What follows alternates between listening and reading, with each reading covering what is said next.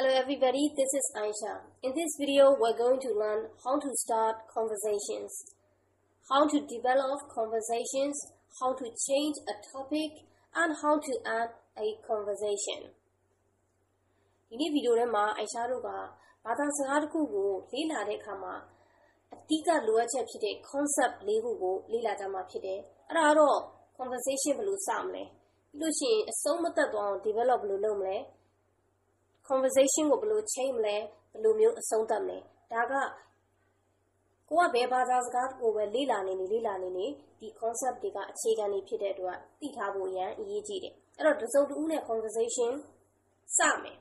စမယ်ဆိုတဲ့အခါမှာကိုယ့်ဘက်ကစပြီးတော့နှုတ်ဆက်တဲ့စကားပေါ်မှာမူတည်တယ်ဒီ conversation ဘယ်လောက်ထိရှည်မလဲဆိုတာပေါ့နော်ဥပမာဒီလိုမျိုး sentence လေးတွေကိုမသုံးပါနဲ့ဥပမာ hi how's it going What's up? How are you? So ဒီဒီ phrase တွေကဘာလဲဆိုလို့ရှိရင်နှုတ်ဆက်ရုံတက်တက်ပဲအဲ့တော့ထွက်လို့က yes uh I'm fine thanks ဆိုတော့ conversation ကိုရှေ့ဆက်ဖို့အတွက်ခတ်သွားမယ်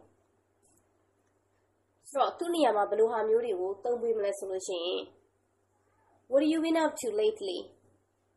What have you been up to lately? မင်းအခုတလောဘာတွေလုပ်နေလဲ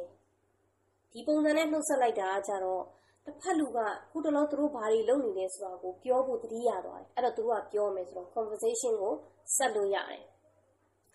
နောက်တစ်ခု What has been keeping you busy lately What has been keeping you busy lately ခုတလောဘာတွေနဲ့အလုပ်ရှုပ်နေတာလဲအဲ့တော့ဒီမေးခွန်းတွေကကြတော့တစ်ဖက်လူကိုအဲ သူတို့ဘာ project တွေလုပ်နေလဲ ဘာအသစ်အစမ်းတွေလုပ်နေလဲ အခုတလောမှာ သူတို့လုပ်နေတဲ့အရာတွေကို ပြောဖို့အတွက်တတိပေးလိုက်လို့ဖြစ်တဲ့အတွက် ကိုနဲ့သူနဲ့ conversation တည်ဆောက်လို့ရတယ် အဲပြီးလို့ရှိရင် ကိုပြောနေတဲ့စကားကို ဘယ်လို develop conversation ကို ဘယ်လို develop လုပ်မလဲ how to develop conversations ကို conversation ကို develop လုပ်ချင်တယ်ဆိုလို့ရှိရင် အမေးအဖြေပုံစံမျိုးကြီးနဲ့ မသွားပါဘူး conversation ကို develop လုပ်ချင်တဲ့အခါမှာ တစ်ချက် သတိထားရမယ် တစ်ဖက်လူကပြောသွားတဲ့စကားရဲ့အဆုံးကိုယူပြီးတော့ကိုကအဲ့ဒါနဲ့ဆက်ဆက်တဲ့အရာကိုပြန်ပြီးတော့ပြောပေးရမယ်ဒါဆိုရင် conversation ကို develop လုပ်လို့ရသွားပြီတစ်ဖက်လူကလည်းကိုပြောတဲ့စကားအဆုံးကိုပြန်ကောက်မယ်ကိုပြောတဲ့စကားတွေကအဓိကအချက်ကိုပြန်ကောက်ပြီးပြန်မေးမယ်ကိုကလည်းအဲ့လိုပြန်သွားမယ်ဤသို့မလုံးဝမဲ့ဟာကိုအရင်ပြောမယ် What did you do yesterday What did you do yesterday I read a book What book did you read? What book did you read? About science. ဆိုတော့ဒါကကြတော့ conversation နဲ့မတူတော့ဘူးအမေးဖြေပုံစံမျိုးနဲ့သွားတူနေအဲ့တော့ conversation ကို develop လုပ်မယ်ဆိုလို့ရှိရင်ဒီကုန်းပြန်ကြည့်မယ် What did you do yesterday? I read a book. Oh, that's that's brilliant. Uh, I find reading very interesting and motivating, although I don't read much. Oh, that's brilliant. I find reading very interesting and motivating, although I don't read much.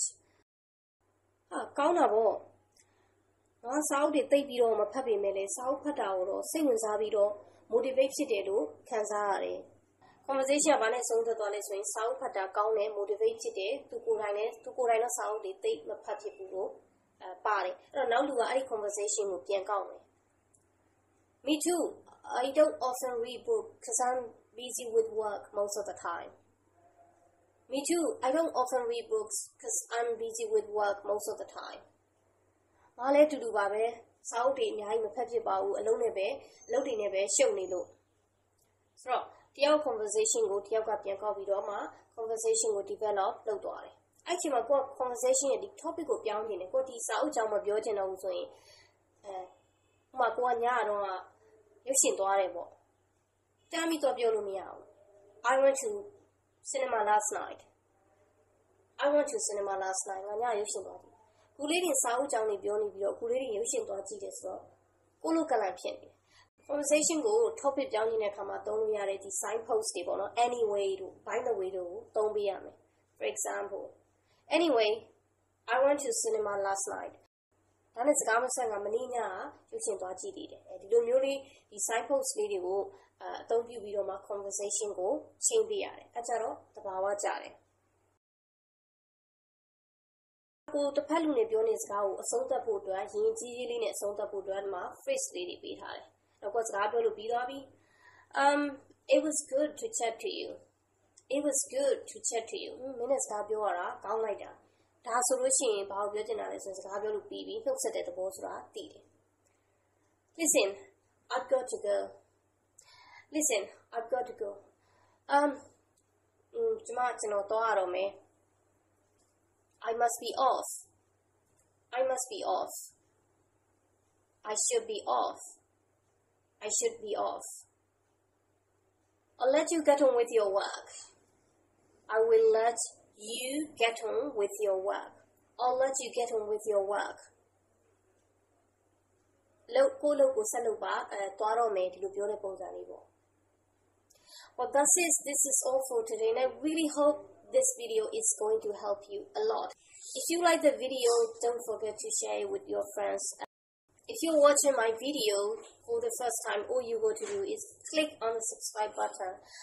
and turn on the notification bell so that you never miss my upcoming video. And thank you so much for watching and I'm going to see you in my next video.